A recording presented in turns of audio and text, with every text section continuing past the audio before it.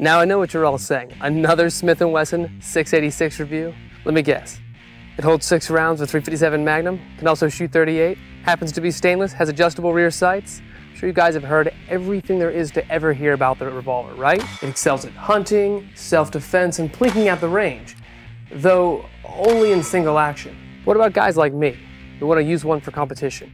The target grip, wide serrated trigger, and lengthy barrels don't facilitate rapid double-action shooting. Well, it looks like Smith & Wesson has heard my prayers and answered them, because Smith & Wesson just released the ideal IDPA gun, coming pre-set up from the factory in SSR or stock service revolver configuration. The model 686 SSR, chambered in 357 Magnum, and of course, 38 Special. Now it separates the SSR model from the standard 686. Right off the bat, you can see these grips or stocks don't look standard at all, and they're not. They're clearly designed to be shot in double action, allow for a nice high grip, an effective recoil controlling grip. Now these custom 686 grips are pressed from the factory, and you can see the letters SSR, stock service revolver, are handsomely present on the grips amongst all the stippling. Above that, you can see on, on these laminated grips, they have the classic Smith & Wesson emblem. But it's not just the grip that sets the SSR apart from standard models. The 686 SSR is built from the ground up for stock service revolver IDPA competition. Now the front sight's are removable and can be replaced with either a fiber optic or tritium sight. The charge holes are slightly chamfered to allow for quicker loading under duress, and the mainspring is bossed or ribbed to provide a lighter, smoother trigger pull.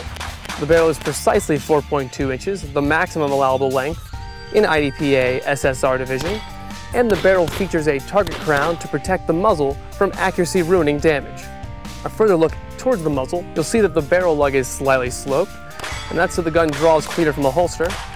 And speaking of being able to draw fast from a holster, all of the weight of this gun is in the back, which is ideal for quick drawing. It draws extraordinarily fast from a holster, though this does translate into slightly more recoil.